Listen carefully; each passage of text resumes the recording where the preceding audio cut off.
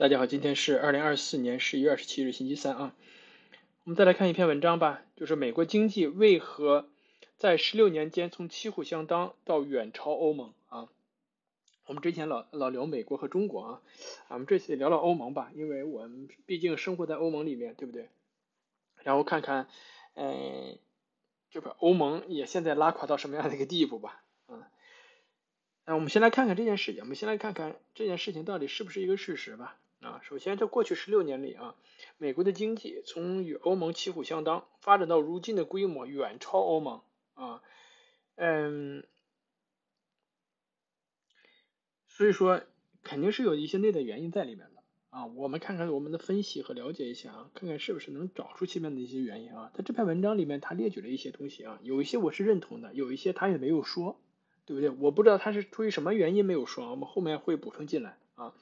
他的观点我也会说吧，那么我的观点我也我也会说啊，嗯，所以说我们先看看十六年前吧，就是二零零八年的时候啊，美国和欧盟的经济几乎相等啊，呃都是全球的一个领头羊啊，就是真的是旗鼓相当。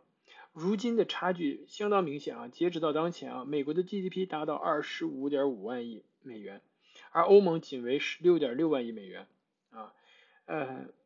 美国的一个经济规模比欧盟大了近百分之五十啊，企业市值对不对？企业市值底下是全球市值超万亿、超这个万亿美元的十家的公司中啊，有九家是美国企业啊，欧盟好像则嗯，欧洲则没有一家企业入围啊，呃，现在整个欧洲应该是市值最高的还是丹麦的这个诺和诺德，对，嗯，但是它是一个药企，对不对？它是。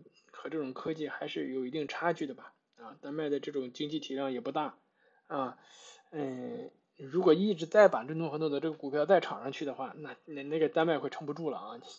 因为现在整个的丹麦的这个怎么说股票指数，就看他自己啊。如果说这个股票诺和诺德往上涨，那这整个丹麦的一个就类似于这个上证 A 股吧，或者丹麦的这种 C 二十五的一个指数就呼往上涨啊，就跟它完全正相关啊。嗯，所以说还是经济体量的一些问题吧，和这个，嗯，我不觉得欧盟有很多的人去炒丹麦的股票啊，所以说如果是在，嗯，对吧？如果是你在一个更大的时候，诺和诺格如果在一些更大市场的话，嗯，可能会市值会更高一点啊。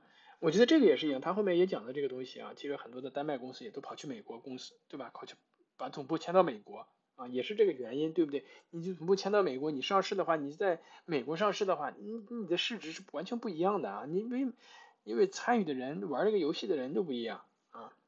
好，我们后面再讲这些东西啊。首先啊，为什么会成这样？可能就是说，这个作者第一个就是就是骂这个欧盟的啊，他说欧盟过度监管导致了这种经济萎缩啊。啊，他说繁聊的繁琐和官僚的一个流程啊，欧盟的监管文化，呃，导致了企业面对面对复杂的行政手续啊，企业呃创业和经营困难重重啊，嗯，这个真的是诟病太多了啊。我们都说那个嗯，美国只管创新啊，中国只管那个呃 copy 啊，然后呢，呃，欧盟只管定规则，对不对？比如说美国，我们那那个 AI 对吧，ChatGPT 出来，那中国对吧？我们有什么豆包啊或者什么之类的啊？我我我我们得搞一把啊。欧盟呢就是哦，新的 AI 出来了，那我是不是什么制定什么规则？我们的安全隐私啊啊，我们人类的那个啊面临的威胁呀啊，他他不先去搞一个，他他他得先制定一些规则。你你制定了一堆规则里面，美国和中国你限制不了，完了之后完全限制了这个呃欧洲本地的企业啊。嗯，就是对吧？你你这个东西还没弄呢，人家美国和中国早早就开始领跑了。完了之后，你再制定一堆规则，你本地企业就更没法玩了。啊，第二点就是创创业壁垒高啊啊啊，就是在法国成立一家的公司差不多需要八十四天啊，在美国只需要四天，繁琐的流程阻断了这种呃新企业的一个诞生啊。嗯，这可能是法国的一些那个什么吧啊嗯。一些特殊的吧，在丹麦其实成立一个公司还是蛮快的啊。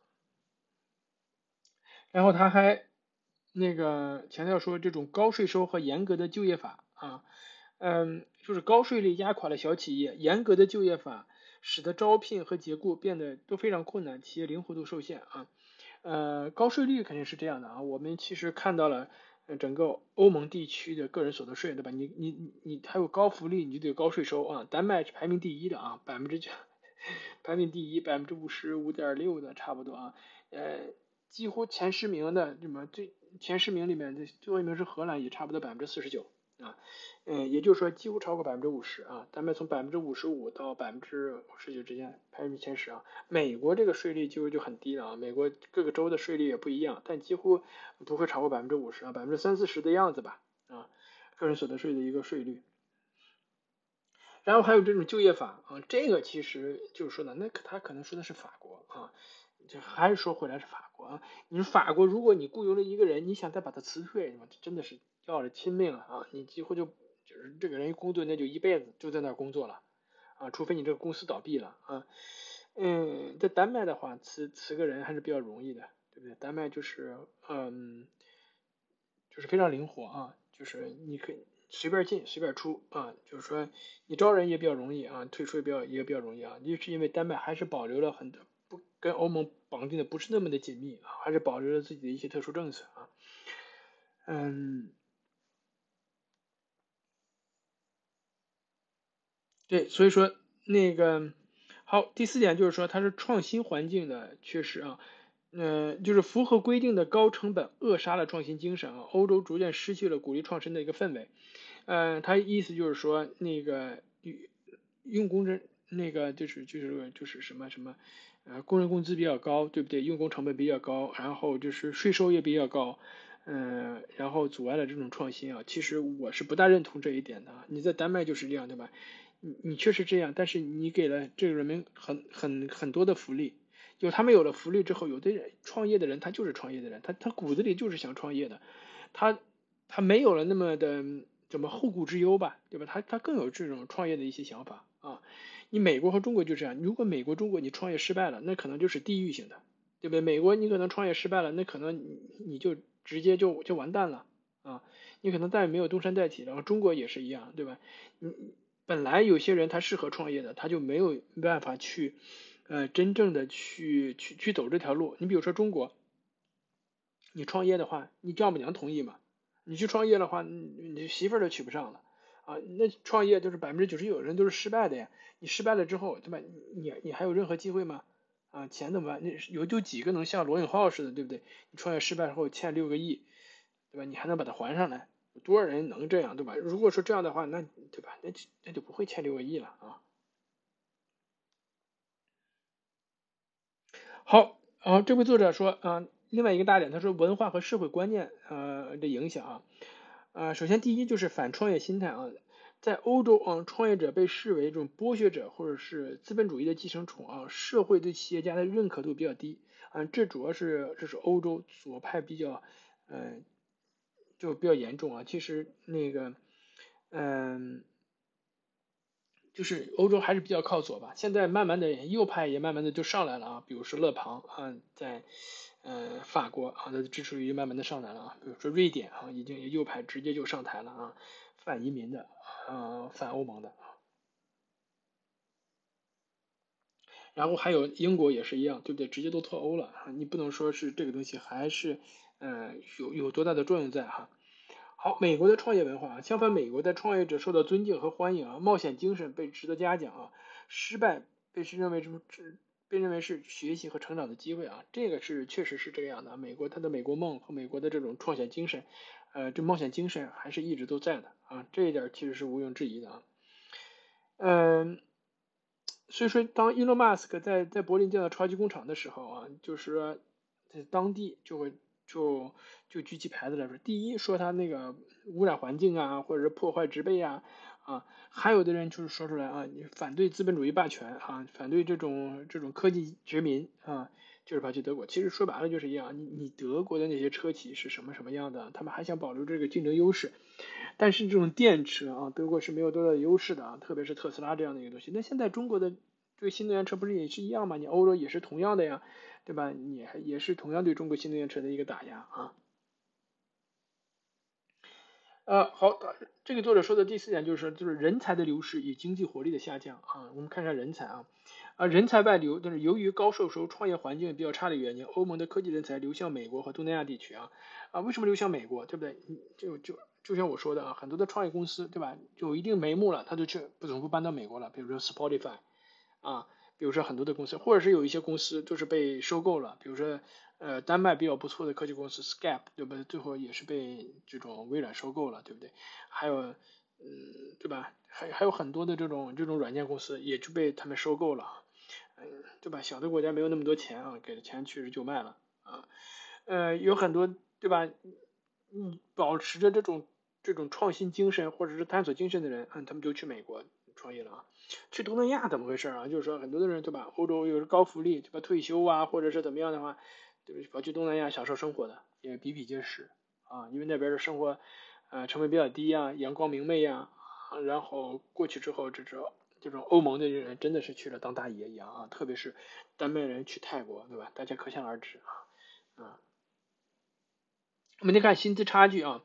欧洲科技呃，就是科技薪资比美国差不多低百分之五十，真真真的啊，美国的差不多，呃，你去这种高科技行业都是三十五万美金起啊，才是是吧，对吧？年薪三十五万美金，在在丹麦根本就达不到啊，但丹麦都达不到，其他的欧盟国家更达不到啊。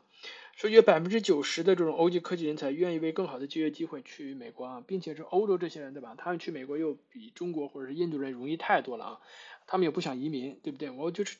去了就是挣钱的，就去工作的啊，无可厚非，对吧？你这美金的欧元换来换去，一一点问题都没有啊。然后第三点就是企业迁移啊，成功的呃欧洲科技公司也都选择将业务和总部迁往美国啊，比如说 Spotify 对吧？刚才我也讲了，呃做这件事情的也也没有目的，对不对？也是因为对吧？嗯，在美国对吧？玩股票的人多多呀，对吧？你的市值是完全不一样的啊，还有人才的招聘呐，科技的创新呐，都是完全不一样的啊。嗯，所以说这个。对吧？全球化嘛，啊，嗯，还是说监管啊，监管和安全的优先导致这个呃环境恶化啊，呃，这欧欧洲选择了非常的呃比较强的监监管啊和安全啊，而非创新和增长，导致了经济活力下降啊，创新就受挫，过度的监管也是抑制了新产业的发展。在欧洲讨论 AI 伦理的时候，美国其实已经积极发展 AI 技术了啊。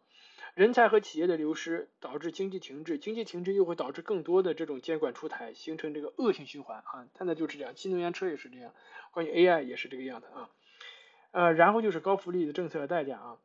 呃，欧盟地区的高福利社会以高税收为代价啊，个人所得税居高不下啊，丹麦差不多百分之五十五点九啊。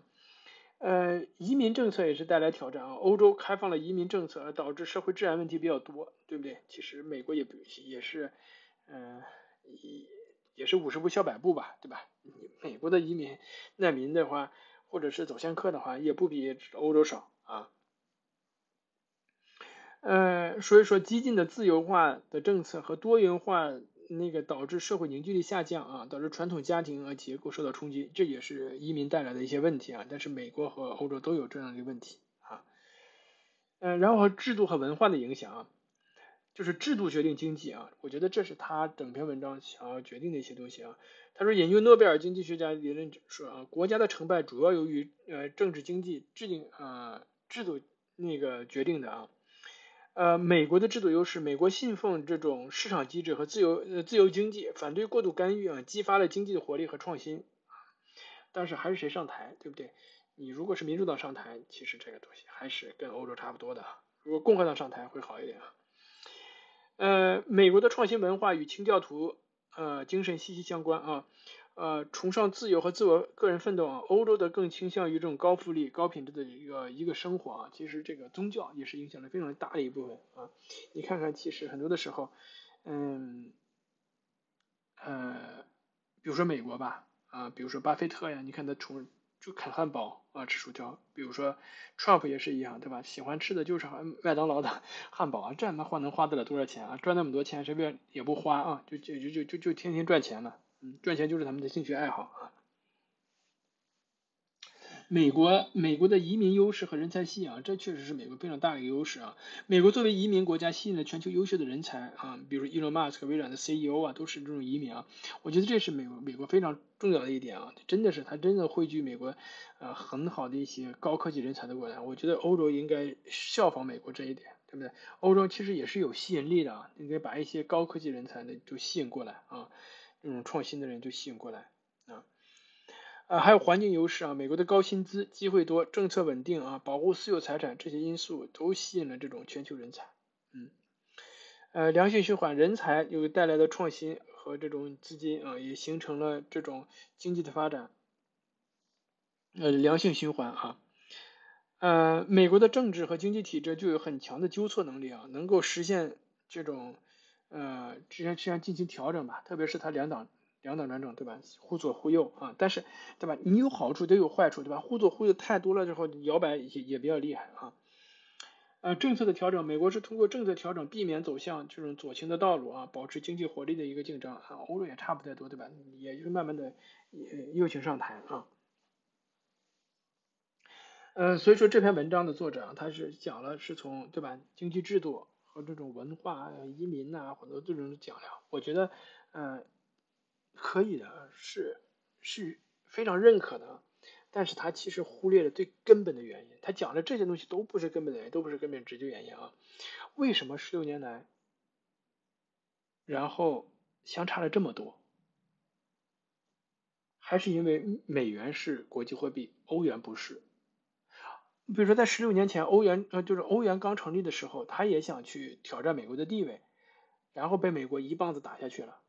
啊，当时美国就是拉拢中国和一起啊，你你你，对吧？科索沃战争，还有最近发动的俄乌战争，都是针对都是针对欧盟的，直指欧盟啊。就是你你欧元你要想抢占这种美元的国际地位，那是不行的。你如果能抢占了，那嗯那就完全不一样了，对吧？那那欧洲的这种 GDP 就会是超过美元，欧盟的 GDP 就会超过美元百分之五十，一点都不夸张啊。如果说当时没有这种美国的打压的话，美国打压欧盟和欧元的话，绝对的，那现在的欧盟的这个 GDP 绝对超过这种美国的百分之五十啊。嗯，然后比如说英国脱欧也是他乐见其成的，如果不是英国脱欧呢，那你这 GDP 那也超不过百分之五十啊，对不对？所以说他最重要的他根本就没有说，当然也是为了激励大家吧，要么就是欧洲这些人他也不好说啊，不敢不敢提这件事情啊。其实说白了就是美国的打压啊。呃，美国这些年啊，虽然是说对吧，打压欧盟，打压那个俄罗斯啊，你想想，如果是说让俄罗斯和欧盟，那些欧呃俄罗斯卖这种廉价的石油和天然气这种资源给欧盟，欧盟又把这种工业制成品直接反卖给俄罗斯，对吧？俄罗斯对吧？他们全用欧元交易，那就没有美没美国什么事儿了，那这个地区就蓬勃发展起来了。如果再打通这种。中国的这种这种“一带一路”再打通，那这更没美国什么事儿了，那不美美洲都不不被孤立起来了吗？对不对？那美国就就就直接就等着垮台就完事儿了啊！那就不是说你提高于美国都多少多少的创新，那你直接就就挂掉了。你们因为亚洲和欧洲还是排列非常紧密的，亚洲欧洲什么都有啊。你要人口有人口，对不对？要市场有市场，要科研有科研，要资源有资源。那美国美洲就就那么一块儿，对吧？你你南北美洲自己去玩呗，啊，那你只有美国和加拿大还可以啊，嗯，对吧？南美那些人就就不太争气。说白了，什么俄乌战争啊，或者是中东的战争啊，或者什么，都是美国在挑起啊，打压这种欧盟，对不对？你你自己看看也是，对不对？完了之后，你把北溪炸了，就那么的天然气，欧洲的民众花那么多钱。去去买电买买气，它是怎么个情况啊？其实真正的原因他不说，他只说有的没的啊。当然有的没的也是一个主要的原因吧啊。但是真实的真正的原因就是美国打压的欧盟，美国对吧？采取这种这种合纵连横吧，就是说对吧？当要打压欧盟的时候，他拉拢中国一起打压，完了之后呢，把欧盟摁摁下去了，对不对？再把俄罗斯也打压打压。跟欧盟一起弄俄罗斯啊，你就把让让他们俄罗斯和欧盟没有这种资源的这种或者是这种欧欧元的交易，对不对？这事打压完了之后，或接下来返回头来连接欧盟，又又打压中国，不就是这个样子吗？事实就是这个样子，对不对？好吧，今天我们就讲到这里啊，谢谢大家。